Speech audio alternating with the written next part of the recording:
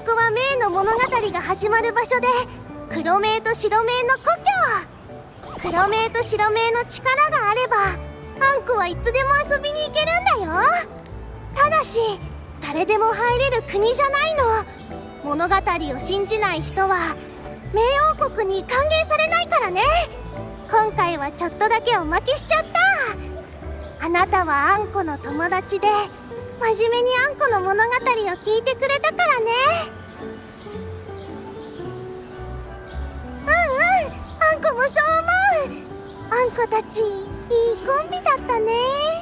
あんこは勇者メイとその友達が困難を乗り越えていくこの物語が大好きなんだ。さっきみたいにね。お母さんがね信じる心があれば物語は人の力になるって言ってた。だから物語を思い出すたびにあんこの心はポカポカするの。この気持ちお兄ちゃんにも伝わってたら嬉しいな。お兄ちゃんにはずっと幸せでいてほしいから。お兄ちゃんと遊ぶのすっごく楽しい。この前本州に来た時はみんな忙しくてダメだったけど。でも今は休暇中だからたっぷり遊べるよ。お兄ちゃんも勇者メイの物語の続き気になるよね。だからあんこの命名冒険団に入団してほしいな。一緒に物語を見届けよう。ーん分かった。じゃあ団長はお兄ちゃん。副団長はあんこね。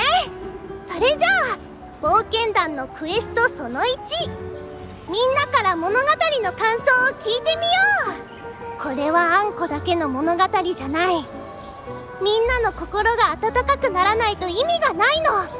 だからこれからの物語を紡ぐためにみんなの感想が必要なんだ。アンコールには拍手と歓声が欠かせないからね。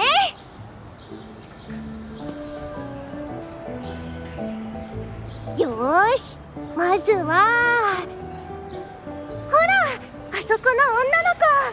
気に入ってくれたかな？早速聞いてみよ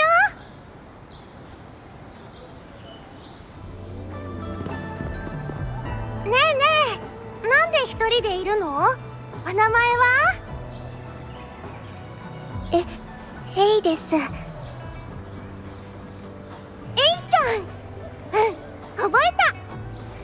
ちは漂白者。命名冒険団の団長だよ。ううんさっき聞こえてた。物語の感想だよね。ちょっと質問があって。何でも聞いて。あんこが答えてあげる。ううん。3つの宝物を揃えたら願いが叶うんだよね。うん。物語にはそう書いてあるよこれを見て。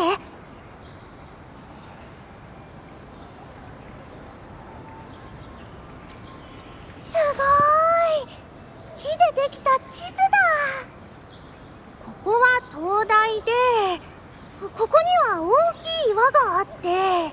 うーん。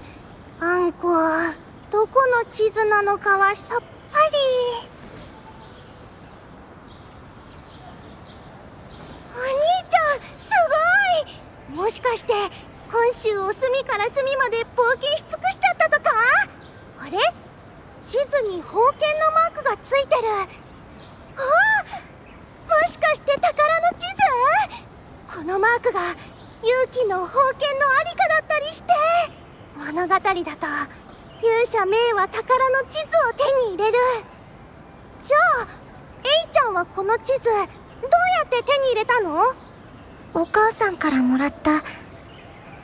これは私とお母さんの約束の証昔お母さんと一緒に演劇を見たことがあるの。願いを叶えるために妖精の命に助けてもらいながら伝説の宝物を探す旅に出るっていうあんこちゃんの物語とそっくりな演劇。私ね願いを叶える宝物はどこにあるのってお母さんに聞いたの。何度も何度も。でもお母さん辺境を見張るユキだからいつも任務で忙しそうにしてた。そしたらある日この宝の地図白妖精の命からもらったっていうこの地図をくれたの。私お母さんに今度一緒に宝物を探しに行こうね。だから何も怖くないよ。宝物が見つかれば願いが叶うから先に願い事を考えておいてねって言われて。たくさん願い事を考えたの。星ナゲットをいっぱい食べたいとか新しいおもちゃがたくさん欲しいとか。でも今叶えたい願いは一つだけ。もう一度お母さんに会いたい。お母さんに話したいことがたくさんあるの。あ。大人はみんなお母さんは任務で遠くに行ってるって言うけどそんなの嘘。私だってもうお母さんは帰ってこないって分かってる。それでもお母さんに会いたくてこの地図のことを思い出したの。だからお父さんにも話してみたんだけど黙って私を抱きしめるだけで何も言ってくれなかった。それで今日あんこちゃんの物語を聞いてもしかしてって思ったのじ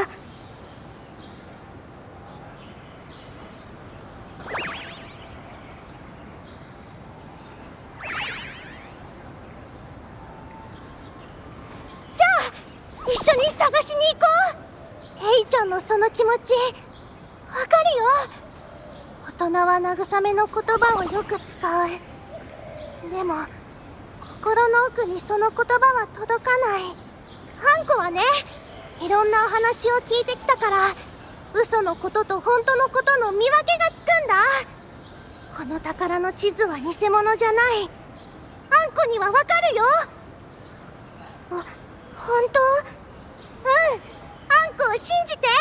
ヘイちゃんの大好きなお母さんがくれた宝の地図。あんこも気になるな。それにお兄ちゃんも物語の結末を知りたがってるしね。手がかりがあるんだから使わない手はないよ。さあ団長指示をどうぞ。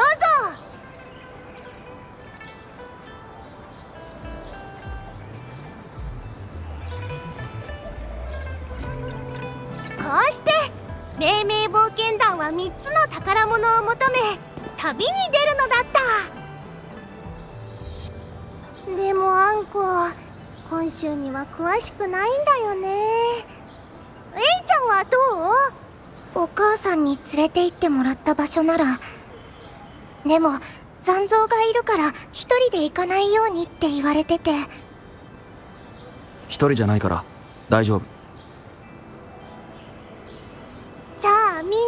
緒に出発